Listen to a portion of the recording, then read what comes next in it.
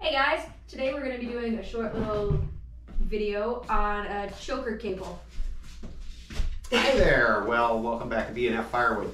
Um, recently, we lost a choker cable up in our woods. Um, we were looking. She lost it, not me. We were looking for it uh, on our route around, but we did get about six inches of snow, so we had no luck finding it. Um, so I went ahead and I ordered two new ones off of Bailey's, um, and they came in the mail. And the thing we like about these choker cables is that they are very strong, very lightweight. I mean, 10 feet of this is so much easier to get up into the woods and take out as opposed to hauling up our log chains. We have 25 foot log chains and uh, Brittany struggles trying to get those up in the woods. We've got two different sizes. One's a half inch and one's a 3 8 inch. The half inch has uh, about 19,000 pounds breaking strength, um, 3,800 pounds working load limit. Um, the 3 8 has about 11,000 pounds breaking strength and uh, 2,200 pounds working load limit. These run about $36. These are about $29.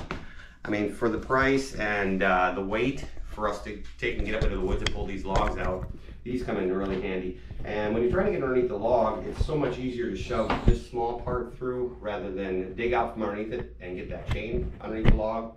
We've never had one of these come loose last year. We hauled uh, 25 cords worth of wood logs out of the woods last year. And uh, that uh, we've never had one of these come loose.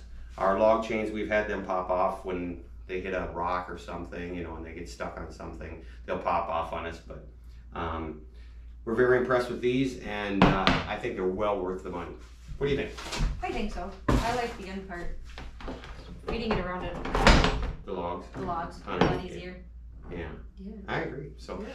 that's it for today. Uh, this was just a quick one, so just a little update. Remember, we got them from Bailey's. You can order them online, and we were really pleased with the last ones we got um, until Brittany lost it. Thank you, and have a good day.